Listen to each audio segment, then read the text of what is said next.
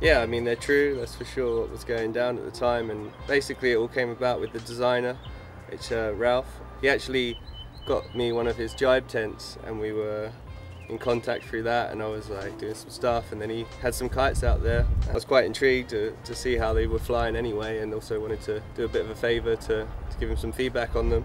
By the time I left Cape Town I was on a kite that I was super happy with and was positive that was the right direction for the future.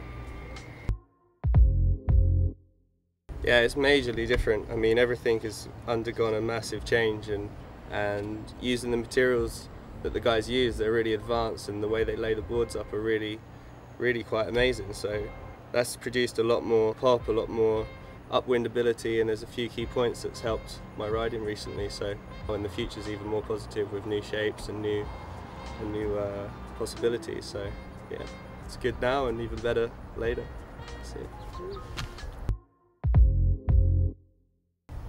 Well, basically, I had a lot of input on the Vegas over over the winter, and you know, a big part of setting that kite up, how I fly it, was to use kind of the six-line setup that I I have on my previous kites. That's something that they wanted to incorporate into the Vegas and have the second option. We've made a great safety system that goes with that. Now that's added a lot more performance and more of a smoother turn to the kite and also other people can enjoy it now because it's safe and easy relaunch and, and they can dump the kite if they're in trouble. It was a point where I needed to kind of move on myself and have the right equipment and progress further for competing. So I've had a great experience with them in the past and everything's been really good and I don't regret any of it and I'm, I'm thankful for, for what I've learnt there in the, in the company but you know now is a, it's a new turn. I made the decision from arguably one of the smaller companies to you know, probably the biggest now. It's quite a big eye-opener for me and for me to see how everything runs there, the timing of everything, I mean the potential for turning around prototypes. I'm really positive and happy about the future and of course it's sad about the past but it's time to move on for me. Um, it's hard to know, you know, what will happen with Flexifoil from now on. I think they'll carry on with what they were doing in the past and obviously the Hadlow thing was a big part of the water side, but they're obviously quite big in the land industry, and that's something maybe they'll focus more on now in the future. Yeah, so I guess the brand as Hadlow by Flexifoil will is going to be discontinued. I mean, it's uh, there's kites out there, and I know there's a lot of fans who love the kite and everything, and luckily they'll still be around for a little bit for people to take. In general, that will fade away, and then we'll start doing new stuff, and it will be maybe not such a individual Hadlow kite, but a lot of my personal input that goes into some North stuff. For me, I love to improve the products and have the potential to make the best kite out there, and I have that opportunity right now, so I'm happy with that. I guess I'd been doing it for like seven years straight, and I was kind of like at a point where, you know, emotionally very up and down with wins and losses and and you know just being on the road for so long never really having a solid base to go back to and kind of was at that age where I kind of maybe needed to take some time out and focus on something else you know I managed to do some wakestyle stuff. I enjoyed riding the rails. It was new. I was learning stuff every session. And in the end it helped me because I focused on more tricks of doing more quality then the competition changed where you only have to do five tricks you could ride boots you didn't have to stay upwind as much and you know, it's all worked out and that's what drew me back to go into the PKRA now and now I've got a real balance of doing both. And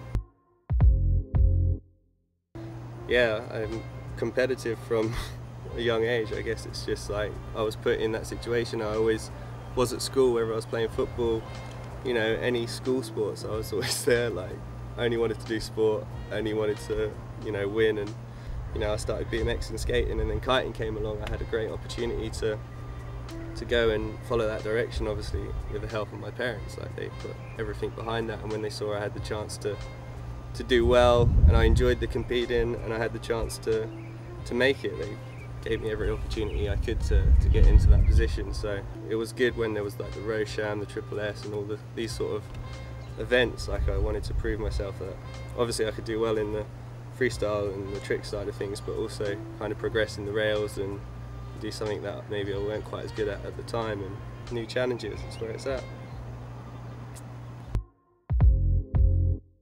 So I think they're quite different because you know the PKRA is really intense and I'm going there just for the job to win the event and do well.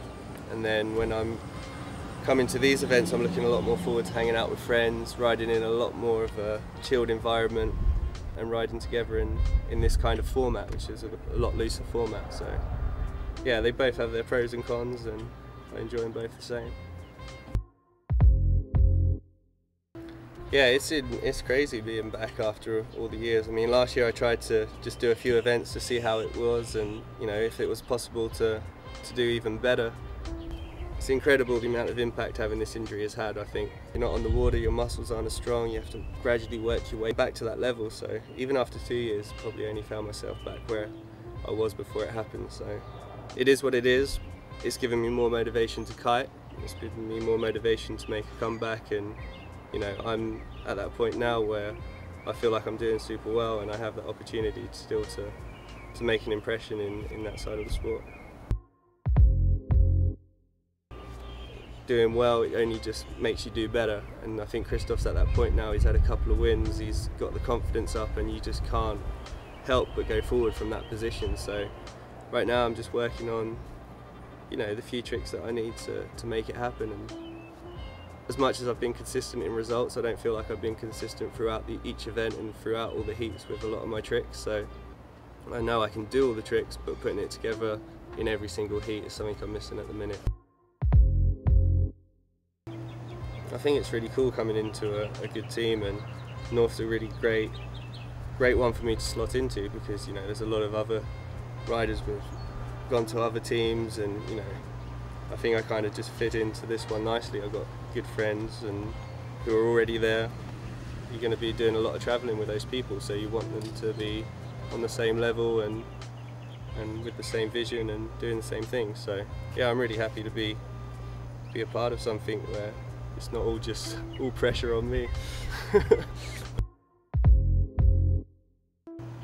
I'm not going to these events to come second or third or fourth or anything, you know. I go to these events to win. That's, you know, the whole point of, of competing for me. I want to go there. I'm motivated to take that first spot. So, yeah, I'm focused on winning another championship. I think it would be amazing to do what I've done and achieved in the past, which was obviously amazing. But it's a different time now. I've had that break. I've had that injury. It set me back a lot.